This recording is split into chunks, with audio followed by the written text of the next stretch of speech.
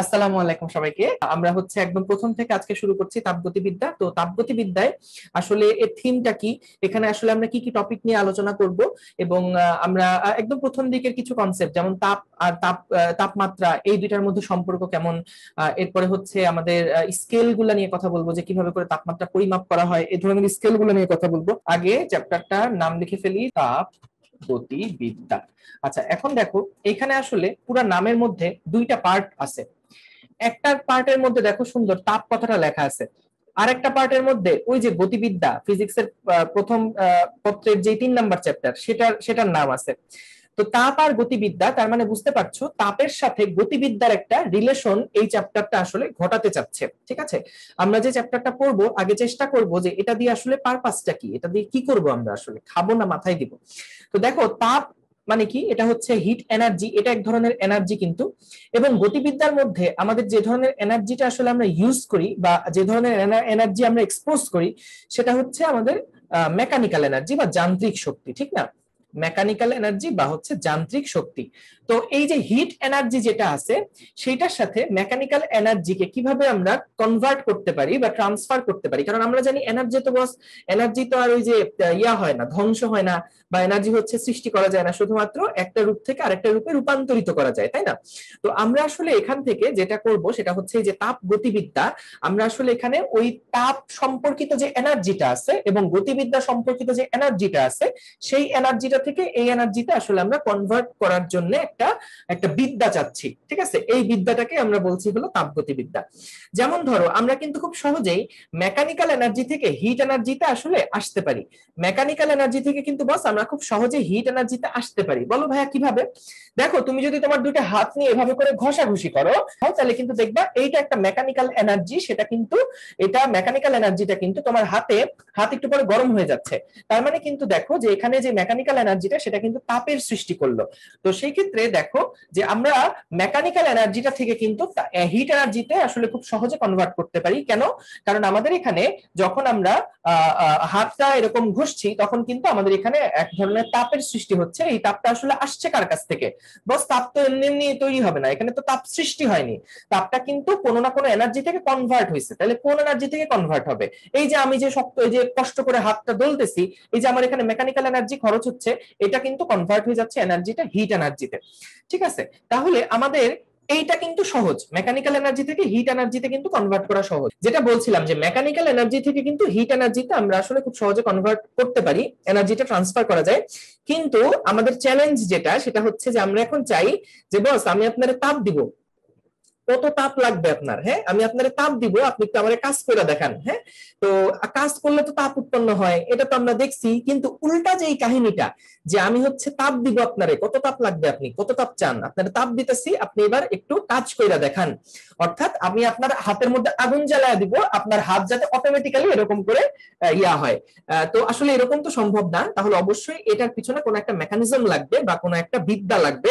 তো সেই বিদ্যাটা নিয়েই কিন্তু আসলে আমরা এই চ্যাপ্টারটাতে আলোচনা করব এবং ফাইনালি আমরা আসলে এটাই চাই যে হচ্ছে আমি এমন ভাবে যাতে করে আমাদের আজকে এই চ্যাপ্টারটা শেষ করতে পারি বা এমন ভাবে চ্যাপ্টারটা যাতে পড়তে পারি যাতে করে আমরা এখানে যে হিট এনার্জিটা আছে, সেই হিট এনার্জি থেকে যাতে করে আমরা মেকানিক্যাল এনার্জিতে কনভার্ট করতে পারি। এটাই হচ্ছে আমাদের প্রাইম টার্গেট ঠিক আছে? এই থার্মোডিনামিক্স বা হচ্ছে এই তাপগতিবিদ্যার এটা হচ্ছে আমাদের মেইন পারপাসটা এবং আমরা এই চ্যাপ্টারের শেষের দিকে কিছু ইঞ্জিন দেখব, তাপ ইঞ্জিন দেখব। হ্যাঁ যেখান থেকে আমরা কিন্তু এই হিট এনার্জির আদান প্রদানের মাধ্যমে আমরা কিন্তু এখান থেকে মেকানিক্যাল এনার্জি আসলে কনভার্ট করতে পারি বা মেকানিক্যাল এনার্জি পেতে পারি। তো এটা হচ্ছে আমাদের মেইন আইডিয়া এই চ্যাপ্টারের এখন আসো যে আসলে আমাদেরকে একটু তাহলে বুঝতে হবে। প্রতিটা জিনিস তাহলে এখন ভালো করে বুঝতে হবে যে আমরা এই যে আমাদের টার্গেট কিন্তু আমরা ঠিক করে ফেললাম যে আমরা কি করতে চাই। তাহলে ওইটা করার জন্য কিন্তু আমাকে খুব ভালোভাবে বুঝতে হবে যে আচ্ছা তাহলে হিট কি? হিট কীভাবে কাজ করে? হিট টেম্পারেচার কীভাবে কাজ করে? কার, কে কার উপরে ডিপেন্ডেন্ট কে আদান প্রদান হলে কে মানে কে বাড়ে, কে কমে? তারপরে আমাদের থার্মোডিনামিক্স এর কিছু ল আছে। যেমন দেখো আমাদের একদম প্রথমে আমরা থার্মোডিনামিক্স এর যে সমস্ত ল গুলা নিয়ে কথা বলব আমরা এই এই চ্যাপ্টারে টোটাল আসলে তিনটা ল নিয়ে কথা বলব হ্যাঁ? থার্মোডিনামিক্স এর আমরা টোটাল তিনটা ল নিয়ে কথা বলব। তার মধ্যে একটা ল হবে হচ্ছে যে, যেই লটার নাম হবে হচ্ছে জিরোথ ল একটার নাম হচ্ছে জিরোথ ল একটার নাম হচ্ছে ফার্স্ট ল আচ্ছা তাহলে দেখো সেকেন্ড ল তাহলে zeroth law first law second law এখন এইখানে দেখো যেটা হয়েছে ফার্স্ট লটা মানুষ আগে আবিষ্কার করে ফেলছে। করার পর দেখছে যে আচ্ছা এর থেকে আর একটা ফান্ডামেন্টাল ল তো আসলে আমাদের দেওয়া লাগবে। তো তখন তো আর উপায় নাই ফার্স্ট ল সম্পর্কে তো জানাজানি হয়ে গেছে। এখন তো আর এটারে ফার্স্ট ল বানানোর সুযোগ নাই, তাহলে একটা মানুষের মধ্যে মিসকনসেপশন তৈরি হবে। সেই জন্য তখন মানুষরা চিন্তা করল যে আচ্ছা ঠিক, বিজ্ঞানীরা চিন্তা করলেন যে আচ্ছা ঠিক আছে, তাহলে ফার্স্ট ল তো যেহেতু হয়ে গেছে, তাহলে ফার্স্টের আগে কি আছে? তখন বলল যে আচ্ছা জিরো আছে, ঠিক আছে, তাহলে এই এই লটার নাম জিরোথ ল দিয়ে দাও। দেখো জিরোথ লটা আসলে কত মজার হ্যাঁ? আমি এটাকে একটু তোমাদেরকে লিখে দিতে চাই। কি বলছে এখানে? যে হচ্ছে দুটি বস্তু যদি তৃতীয় কোন বস্তুর সাথে তাপীয় সাম্যাবস্থায় থাকে। তাপীয় সাম্যাবস্থায় থাকে। তবে প্রথমোক্ত বস্তু দুইটি পরস্পরের সাথে তাপীয় সাম্যাবস্থায় থাকবে। জাস্ট একটু কষ্ট করে লিখে নাও, আমি এটা বুঝাই দিচ্ছি। সাম্যাবস্থায় থাকবে, তাপীয় সাম্যাবস্থায় থাকবে। একেই তাপগতিবিদ্যার শূন্যতম সূত্র বলা হয়। তো এটা হচ্ছে আমাদের সেই তাপগতিবিদ্যার শূন্যতম সূত্র। আগে একটু লিখে নাও, একটু সময় দিচ্ছি। এরপরে আমরা হচ্ছে ইয়াতে যাচ্ছি থিওরি আলোচনায় যাচ্ছি। তাইলে দেখো, আমরা এখানে দেখো তাপগতিবিদ্যার যে শূন্যতম সূত্র, এটা আসলে কি বলছে জানো? এটা বলছে মনে করো পি নামে আমার কাছে একটা বস্তু আছে, ঠিক আছে? পি নামে আমার কাছে একটা বস্তু রাখা আছে এবং কিউ নামে আমার কাছে একটা বস্তু রাখা আছে এবং আর নামে আমার কাছে আরেকটা বস্তু রাখা আছে। তো খুব সহজ জিনিস। দেখো এখানে বলছে যে পি যেই বস্তুটা আছে, সেইটা যদি আর এর সাথে হ্যাঁ? পি যেই বস্তুটা আছে, সেইটা যদি আর এর সাথে সেম টেম্পারেচারে থাকে, এই কথাটার মানে হচ্ছে তাপীয় সাম্যাবস্থায় থাকা, বুঝছ? তাপীয় সাম্যাবস্থায় থাকার অর্থ কি? সোজা বাংলায় যে আমার টেম্পারেচার যদি তিরিশ ডিগ্রি হয়, আপনারও টেম্পারেচার কিন্তু তিরিশ ডিগ্রি ঠিক আছে? এটাই হচ্ছে তাপীয় সাম্যাবস্থা আচ্ছা তোমাদেরকে আমি একটা একটা একটা ফেনোমেনা বলি, একটা ঘটনা বলি, যেটা আমরা প্রায় দেখি। আচ্ছা বলো তো, তুমি তোমার আশেপাশে স্টিলের কিছু আছে? এইরকম একটা জিনিস একটু খুঁজে বের করো। আমি নিজে খুঁজে পাচ্ছি না, কিন্তু তুমি এভাবে চিন্তা করো যে তোমার, চিন্তা করো না, তুমি আশেপাশে একটু দেখো, তোমার আশেপাশে স্টিলের কিছু আছে নাকি? সেটা চাবি হতে পারে সেটা তোমার হচ্ছে ধরো মোবাইলের ব্যাক পার্ট যদি স্টিলের হয়, সেটা হতে পারে অ্যালুমিনিয়ামের হয়, সেটা হতে পারে। অবশ্য মোবাইল বেশিরভাগ গরম থাকে না মোবাইলের ওটা ধরো না। কিন্তু ধরো তুমি হচ্ছে যে কোনো চামচ ধরতে পারো, বা তুমি হচ্ছে যে কোনো মানে স্টিল টাইপের স্টেনলেস স্টিল বা যে কোনো লোহা টোহা এরকম টাইপের একটা জিনিস ধরবা। আরেকবার তুমি হচ্ছে তোমার ধরো টেবিল ধরবা, বা তোমার বিছানা ধরবা, বা যে কোনো ওয়াল ধরবা। বলতো দেখি রুমের মধ্যে যখন আসো, তখন কোন জিনিসটা তোমার কাছে বেশি ঠান্ডা বলে মনে হবে? স্টিলেরটা ভাইয়া। স্টিলেরটা। স্টিলের জিনিস। যেটা বলতেছি সেটা হচ্ছে যে আমি যখন আমি যখন ধরো আমি একটা স্টিলের চামচ ধরলাম বা এই লোহার একটা কিছু ধরলাম আর আমি মনে করো টেবিল ধরলাম বা বিছানা ধরলাম আমি কিন্তু দেখব কোনটা আমার কাছে ঠান্ডা মনে হবে চামচটা বেশি ঠান্ডা মনে হবে। আচ্ছা আমাকে একটা জিনিস বলো তো কার তাপমাত্রা কম তাহলে? চামচের। চামচের তাপমাত্রা কম আর বিছানার তাপমাত্রা কি? বা টেবিলের তাপমাত্রা কি? দেখো এখন তোমরা যদি এই ইয়াতে থাকো এটা খুব বড় একটা মিসকনসেপশন দেখো লেট মি ক্লিয়ার সেম না? এক্স্যাক্টলি দুজনের তাপমাত্রা কিন্তু সেম কেন দুজনের তাপমাত্রা সেম কারণ এই পরিবেশের মধ্যে কিন্তু এরকম কোনো মানে এই এ মানে আমাদের বিছানা বলো চামচ বলো বা রুম টেবিল বলো লোহার যে কোনো জিনিস বলো এটা যখন একটা রুমের মধ্যে আছে রুমের মধ্যে বাইরে থেকে তো আর কেউ হিট দিচ্ছে না। রুমটা কিন্তু একটা সাম্যাবস্থায় চলে আসছে। কারণ তুমি চিন্তা করে দেখো যখন আমরা যে নাইন টেনে থাকতে মনে আছে মিশ্রণের তাপমাত্রা পড়ছিলাম এই জিনিসটা মনে আছে কারণ মিশ্রণের তাপমাত্রা ক্যালোরিমিতি চ্যাপ্টারে মনে আছে? কি হয় ওখানে ভাইয়া? যে একটা একটা হচ্ছে ইয়া থাকে একটা হচ্ছে বালতি থাকে বা একটা হচ্ছে আমাদের কন্টেইনার থাকে। সেই কন্টেইনারের মধ্যে আমি যখন বরফের পানি বা খুব ঠান্ডা পানি আর গরম পানি মিশাই তখন কি হয়? গরম পানিটা হচ্ছে এবং ঠান্ডা গরম পানিটা হচ্ছে তাপশক্তি ছেড়ে দেয় এবং ঠান্ডা পানিটা তাপশক্তি গ্রহণ করে। এবং ফাইনালি গিয়ে কি হয়? তারা তাপীয় সাম্যাবস্থায় চলে আসে। অর্থাৎ দুজনের টেম্পারেচার কিন্তু মিক্সচারের টেম্পারেচারের সমান হয় বা দুজনের একটা তাপমাত্রা কিন্তু এসে ফাইনালাইজ হয়। ঠিক না? তাহলে দুইজনের কিন্তু একটা তাপমাত্রা কিন্তু ফাইনালি হয়। অর্থাৎ আমি যদি এরকম চিন্তা করি যে দশ ডিগ্রি সেলসিয়াসে একটা পানির কিছু পরিমাণ পানি নিয়ে আসলাম এবং পঞ্চাশ ডিগ্রি সেলসিয়াসের কিছু পরিমাণ পানি নিয়ে আসলাম, হয়তো দেখা যাবে যে আমার ওইখানে টেম্পারেচার মিশ্রণ করার পরে ফাইনালি এটা আঠাশ ডিগ্রি সেলসিয়াস তাপমাত্রা এসে এটা স্থির হয়েছে। তার মানে কি? যে আমার ওই রুমের যে পানির তাপমাত্রা এবং যে ঠান্ডা পানির তাপমাত্রা এবং গরম পানির তাপমাত্রা সবগুলো তাপমাত্রা কিন্তু সেম হয়ে তারা আঠাশ ডিগ্রি সেলসিয়াসে নেমে আসছে। তাহলে দেখো সব, সবাই কিন্তু দেখো একটা মানে একটা সাম্যাবস্থায় আসতে চায়। অর্থাৎ যখন বেশি টেম্পারেচার থাকে, অন্য একই জায়গাতে যদি কম টেম্পারেচার থাকে, তারা যখন একটা আরেকটা সংস্পর্শে থাকে, তখন কিন্তু তাদের মধ্যে তাপ তাপমাত্রার তাপ শক্তির আদান প্রদান হয় এবং আলটিমেটলি তাপমাত্রা ব্যালান্স হয়ে আসে। ফাইনালি সবার তাপমাত্রা কিন্তু সেম হয়। এখন তুমি চিন্তা করো, তোমার রুমের মধ্যে চামচও আছে, তোমার রুমের মধ্যে টেবিলও আছে। একই টেবিলের উপরে ওই চামচটা রাখা। কিন্তু টেবিলকে ধরলে মনে হচ্ছে এটা গরম, আর চামচকে, চামচের উপরে হাত দিলে মনে হচ্ছে এটা ঠান্ডা। এখন বিষয় হচ্ছে যে, ভাইয়া, দুইটা টেম্পারেচার কিন্তু একই, দুইজনের তাপমাত্রা কিন্তু একই। কেন? কারণ দেখো, দুইজন কিন্তু একই রুমের মধ্যে আছে। রুমের টেম্পারেচার যদি আঠাশ ডিগ্রি সেলসিয়াস হয়, তাহলে তোমার টেবিলের টেম্পারেচারও আঠাশ ডিগ্রি সেলসিয়াস এবং তোমার সেই চামচের টেম্পারেচারও কিন্তু আঠাশ ডিগ্রি সেলসিয়াস।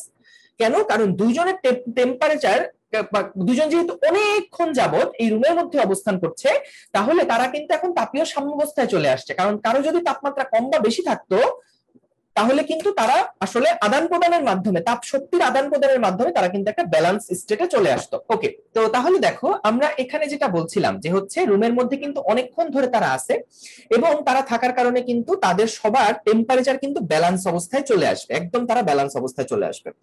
অর্থাৎ আমার স্পুনের যেই টেম্পারেচার এবং আমার টেবিলের যে টেম্পারেচার দুজনের টেম্পারেচার কিন্তু বস সমানে সমান। দুজনের টেম্পারেচার কিন্তু আঠাশ ডিগ্রি সেলসিয়াস। কিন্তু ঝামেলা হচ্ছে, তাইলে বস আমি যখন স্পুনে হাত দিচ্ছি, তখন আমার ঠান্ডা লাগতেছে, আর আমি টেবিলে হাত দিচ্ছি, তখন আমার গরম লাগতেছে। এখানে একটা বিষয় তো অবশ্যই আছে, সেটা কি? সেটা হচ্ছে হ্যাঁ তোমার অ্যান্সার ঠিক, যে দুইজনের টেম্পারেচারই ঠিক, কিন্তু রুমের টেম্পারেচার থেকে তোমার বডি টেম্পারেচার কিন্তু বেশি। রুমের টেম্পারেচার থেকে তোমার বডি টেম্পারেচার কিন্তু বেশি থাকে। বলো তো তোমার বডি টেম্পারেচার কত?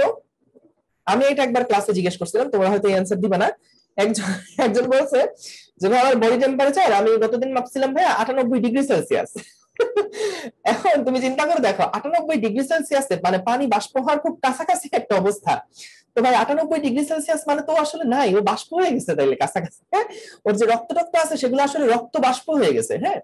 তো এটা তো আসলে হয় না। তো তাহলে এটা আসলে সমস্যা কি বলতো? আমাদের টেম্পারেচার কিসে মাপি আমরা? ডিগ্রি সেলসিয়াসে মাপি? ফারেনহাইটে মাপি এক্স্যাক্টলি এই বেসিক জিনিসগুলা কিন্তু ভুল করবা না হ্যাঁ? তো তাহলে এটা তো আসলে হবে না তাই না? তাহলে আমরা এখানে কিন্তু দেখো যেটা বলতে চাচ্ছিলাম সেটা কি? সেটা হচ্ছে যে আমাদের বডি টেম্পারেচার কিন্তু নর্মালি অনেক বেশি থাকে। সেটা হচ্ছে আমি যদি ডিগ্রি সেলসিয়াসে কনভার্ট করি, এটা কিন্তু প্রায় তোমার এটা কি কেউ জানো? একদম এক্সাক্ট নাম্বারটা কেউ বলতে পারবে? আমার ধারণা আমাদের পঁয়ত্রিশ থেকে চল্লিশ ডিগ্রি সেলসিয়াসের কাছাকাছি থাকে। এটা কি কেউ আরও পারফেক্টলি বলতে পারবে? যারা বায়োলজি পড়ছে রিসেন্টলি তারা হয়তো আচ্ছা সাঁত্রিশ ঠিক আছে পঁয়ত্রিশ থেকে চল্লিশ গুড ভেরি গুড তাহলে এই যে এরকম রেঞ্জের মধ্যে বডি টেম্পারেচার থাকে। কিন্তু রুমের টেম্পারেচার কত থাকে দেখো? রুমের টেম্পারেচার কিন্তু ওই আঠাশ পঁচিশ তাহলে আমাদের এখানে কিন্তু দেখো রুমের যে টেম্পারেচারটা সেটা কিন্তু আসলে কম থাকে। তার মানে আমরা এটা বলতে পারি যে বডি টেম্পারেচার যেটা থাকে বডি টেম্পারেচার কিন্তু is greater than room temperature boss তাইলে তুমি চিন্তা করে দেখো রুমের যখন কোনো একটা কিছুকে তুমি ধরবা কারণ কি ভাইয়া?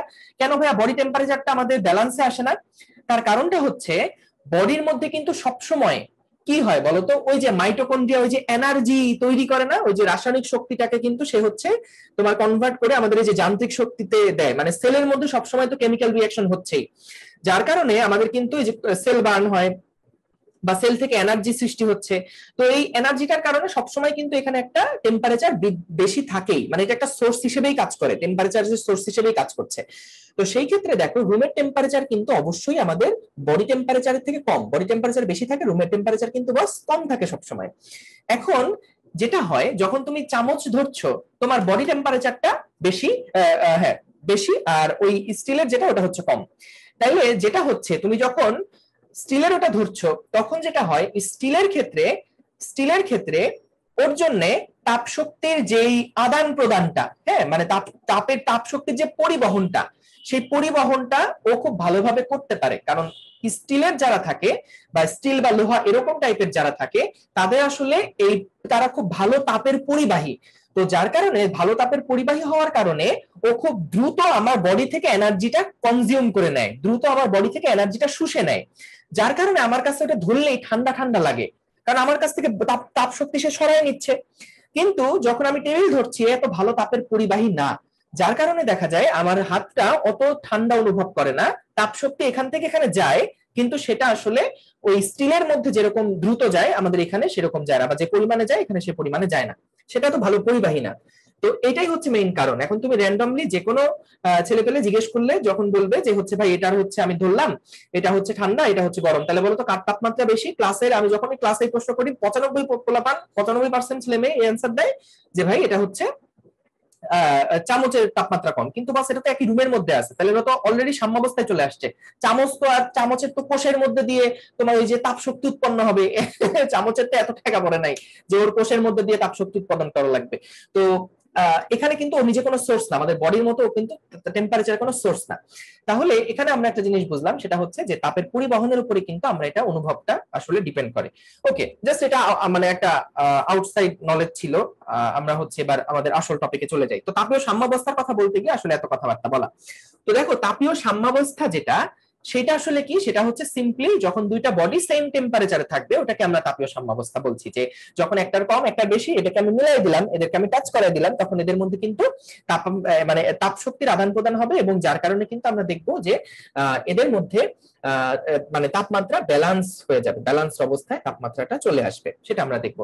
এখন আসো, এইরকম একটা কনফিউশন আছে সেটা হচ্ছে হ্যাঁ বলো, তানভীর দুইটা দুইটা বস্তুর তাপমাত্রা কি একই হয়ে যাবে? কখন যখন আমরা একসাথে টাচ করাবো তখন? সাম্যাবস্থায় হ্যাঁ দুইটা বডির টেম্পারেচার সেম হয়ে যাবে। যখন তাপীয় প্রথমে তো হবে না প্রথমে তো আদান প্রদানের জন্য তোমার একটু সময় দিতে হবে বস কিন্তু যখন সময় দিয়ে দিলা তারপরে কিন্তু দুজনের টেম্পারেচার একদম সেম হয়ে যাবে একদম। তিরিশ তিরিশ চল্লিশ চল্লিশ এরকম হয়ে যাবে ঠিক আছে? ওকে তাহলে এখন আসো আমরা একটা জিনিস নিয়ে একটু আলোচনা করি। সেটা হচ্ছে কি জানো? যে দেখো তোমরা এরকম ক্লাস নাইন টেনে একটু পড়ে আসছো। সেটা হচ্ছে এই যে যারা শর্ট সিলেবাস পড়ে আসবে ক্লাস নাইন টেনে এদেরকেও এই পরের পরের বছর বলতে হবে। এই যেটা পড়ে আসছো না পড়ো নাই কেন? হুম? পড়ো নাই কেন? শর্ট সিলেবাস করছ না? দেখো মনে আছে তোমাদের যে এইখানে এরকম একটা প্রবলেম ছিল যে এরকম এখানে একটা পানি, একটা টিউব আছে। এই টিউবের বাম পাশে আমাদের পানির হাইট অনেক বেশি আর ডান পাশে পানির হাইট অনেক কম। আচ্ছা দাঁড়াও, এখানে একটু একটু আমাদের কারেক্ট করা লাগবে একটা জিনিস। এখানে একটু মোটা হয়। এই পাইপটা একটু মোটা হয়। মোটা মোটা মোটা। এই পাইপটা একটু মোটা হয়। তো মনে আছে যে এইরকম একটা ইস্যু ছিল যে হচ্ছে আমাদের একটাতে দেখো এই জায়গাতে কিন্তু অনেক বেশি পানি আছে, এখানে অনেক বেশি পানি আছে, এখানে অনেক কম পানি আছে, কিন্তু এটার হাইট অনেক বেশি। তো যার কারণে আমরা যেটা দেখি সেটা হচ্ছে পানির হাইট যেখানে বেশি, সেইটা সেখানে কিন্তু এখানে যেহেতু পানির হাইট বেশি বস তাহলে এইখানে যে অঞ্চলটা আছে, এই অঞ্চলকে কিন্তু এতখানি লেয়ারের পানির ওয়েট তাকে ক্যারি করতে হয়। যার কারণে এখানে কিন্তু প্রেসারটা অনেক বেড়ে যায়, কারণ উপরের লেয়ারের পানির ওজনটা তাকে কিন্তু ধরে রাখতে হচ্ছে। যার কারণে কিন্তু এখানকার প্রেসারটা এই এখানে আয়তন যেহেতু ক্ষেত্রফল যেহেতু কম, তাই এমজি বাই এ বা এফ বাই এ যেটা আমরা বলি এখানকার প্রেসারটা কিন্তু বেড়ে যায়। বা ভাই, সহজ ভাষায় এইচ রোজি। এখানে হাইট বেশি, তাই এখানে কিন্তু এইচ রোজি যেটা, সেটার পরিমাণ বেশি, এখানে হাইট কম, তাই এখানে এইচ রোজির পরিমাণ কিন্তু কম। তো ভাই, এখানে বলতো কোনখান থেকে কোন জায়গাতে পানির আদান প্রদান হবে, সেইটা কি ডিপেন্ড করে যে পানির পরিমাণ কোথায় বেশি, পানির পরিমাণ কোথায় কম, সেইটার উপরে কি ডিপেন্ড করে বলতো? না ডিপেন্ড করে হাইটের উপরে। যেখানে হাইট বেশি সেইখান থেকে কিন্তু এই হাইট যেখানে বেশি সেখান থেকে কিন্তু আমাদের পানিটা ট্রান্সফার হবে তাই না? তাহলে পানির পরিমাণের উপরে কিন্তু পানির আহ, আহ, প্রবাহটা ডিপেন্ড করছে না ডিপেন্ড করছে প্রেসারের উপরে। যে পানির চাপ যেখানে বেশি বা যেটা হাইট বেশি সেই হাইটটা থেকে কম হাইটের দিকে কিন্তু এখানে আমাদের পানিটা ট্রান্সফার হবে। ঠিক তেমনি একইভাবে কোন একটা বডির মধ্যে তাপ শক্তি কি বেশি আছে নাকি কম আছে? সেইটা নিয়ে আমাদের কনসার্ন না। এটা অনেকটা পানির পরিমাণের মতন একটা প্যারামিটার। পানির পরিমাণের, এখানে যেমন কাজ করছিল, সেই পানির পরিমাণের মতন একটা বিষয় যে, ভাই, পানির পরিমাণ যতই বেশি থাকুক না কেন, কোন দিক থেকে কোন দিকে পানি যাবে, সেটা পানির পরিমাণের উপরে ডিপেন্ড করে না। ঠিক তেমনি দুইটা বডির মধ্যে তাপের আদান প্রদান তাপ শক্তির উপরে ডিপেন্ড করে না যে, বস, এখানে তাপ শক্তি আছে পাঁচশো জুল, আর এখানে তাপ শক্তি আছে তিনশো জুল। তাহলে আমি তোমারে বললাম যে বস জানো, পঞ্চাশ, পাঁচশো এখানে যেহেতু তাপশক্তি বেশি, এখানে তাপশক্তি কম, তাহলে বেশি থেকে কমের দিকে তাপ শক্তির প্রবাহ হবে। না বস এরকম হবে না। ঠিক যেমনটা, এখানে মনে করো পাঁচশো কেজি পানি আছে, আর এখানে আছে তিনশো কেজি পানি। তাহলে কিন্তু পাঁচশো থেকে তিনশোর দিকে পানি যাবে না। তাহলে এটা কিন্তু ওই পানির পরিমাণের উপর যেমন ডিপেন্ড করে না, ঠিক তেমনি তাপের আদান প্রদান কোন বা, কোন বস্তু থেকে কোন বস্তুতে হবে, সেটা কিন্তু তাপশক্তির পরিমাণের উপরে নির্ভর করে না। ঠিক আছে? এইবার আসো, আরেকটা প্যারামিটার, সেটা হচ্ছে তাপমাত্রা। তাপমাত্রা। তাহলে তাপমাত্রা যেটা আছে, সেইটা অনেকটা, আমি যদি এটার কথা বলি, এটা হচ্ছে ওই পানির উচ্চতার মতন অনেকটা।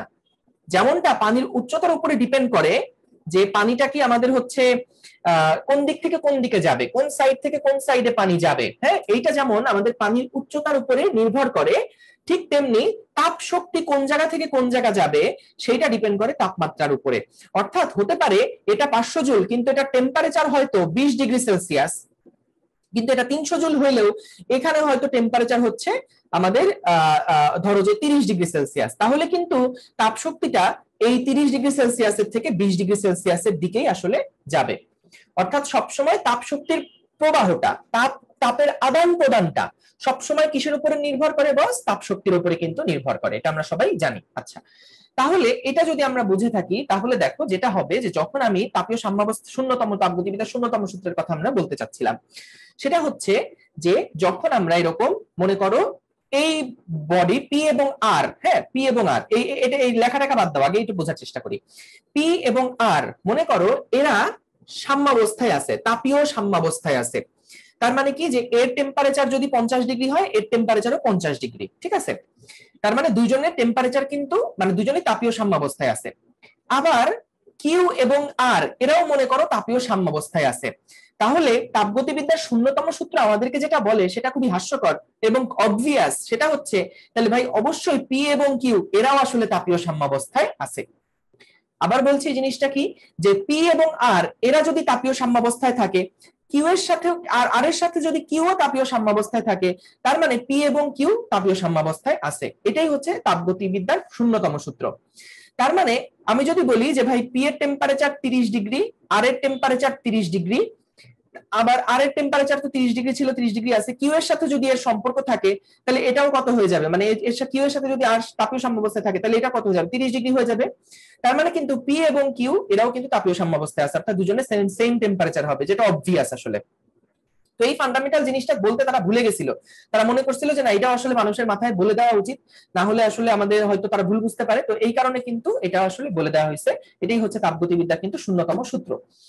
এখন দেখো, আমরা আসলে যেই পার্টটা নিয়ে কথা বলব, যে তাপমাত্রা আসলে বা উষ্ণতা, এটা আসলে কি নির্দেশ করে? একটু লিখে নাও সবাই। তাপমাত্রা বা উষ্ণতা হচ্ছে বস্তুর তাপীয় একটা অবস্থা, বস্তুর তাপীয় অবস্থা। একটা তাপীয় অবস্থা যা নির্ধারণ করে বস্তুটিকে বস্তুটিকে অন্য বস্তুর তাপীয় সংস্পর্শে রাখলে তাপ দেবে না তাপ নেবে। আচ্ছা এখন আমরা অনেক সময় যেটা করি, এটা আমার নোটে লেখা ছিল যে হচ্ছে আমরা অনেক সময় যেটা করি, হাত দিয়ে উষ্ণতা মাপার চেষ্টা করি, কিন্তু সব সময় কিন্তু এই উষ্ণতা বা তাপমাত্রা হাত দিয়ে মেজার করাটা আসলে সব সময় ঠিক হয় না। তো সেই ক্ষেত্রে এই জন্য আমরা কিন্তু তাপমাত্রা কীভাবে করে পরিমাপ করব, এইটা নিয়ে আসলে বিস্তারিত আলোচনা করব এই তাপগতিবিদ্যা অধ্যায়ে। সংজ্ঞা যদি আসে কখনো, সংজ্ঞা এটাই দিবা। যে তাপমাত্রা বা উষ্ণতা হচ্ছে বস্তুর তাপীয় অবস্থা যা নির্ধারণ করে বস্তুটি অন্য বস্তুর তাপীয় সংস্পর্শে রাখলে সেটা কি তাপ দিবে নাকি তাপ নিবে। তাহলে এটার একটা পরিমাপ। যেমন আমি যখন হাইট দেখছি হাইটটা থেকে আমি বলতে পারি যে হচ্ছে হ্যাঁ বস্তুটার হাইট এখানে পানির হাইট বেশি, তাহলে এটাকে আমি যদি কম হাইটের পানির সাথে কানেক্ট করে দেই, তাহলে এখান থেকে ইয়াটা যাবে। ঠিক আছে? ঠিক ওই রকমই একটা প্যারামিটার হচ্ছে তাপমাত্রা। আসলে বিষয় কি, এগুলো কঠিন হয়েছে কেন? হাইট তো ভাইয়া নিজের চোখে দেখা যায়। কিন্তু তাপ শক্তি তো ভাইয়া ফিল করতে হয়। বা তাপমাত্রা এটা তো ফিল করতে হয়। এটা তো চোখে দেখা যায় না। যার কারণে এগুলাকে কোয়ান্টিফাই করাটাও অনেক কঠিন কাজ বা এটাকে ওইভাবে ফিল দেওয়াটাও কঠিন কাজ। মানে ধরো মনে মনে ফিলটা নিতে হয়। কিন্তু আমরা যখন হাইটের কথা বলছি, প্রবাহের কথা বলছি, পানির ক্ষেত্রে কথা বলছি, তখন কিন্তু এগুলাকে আমরা মানে দেখছি। তো এই কারণে আমি যখন এই চ্যাপ্টারটা পড়াচ্ছি, চেষ্টা করি যে যাতে করে ওই ওই এক্সাম্পলগুলো দেওয়া যায়। যাতে ওইখানে যেটা ছিল ওইটা, ওই প্রপার্টিটা এখানে সেইটা। এভাবে করে যাতে করে একটু রিলেট করতে পারো।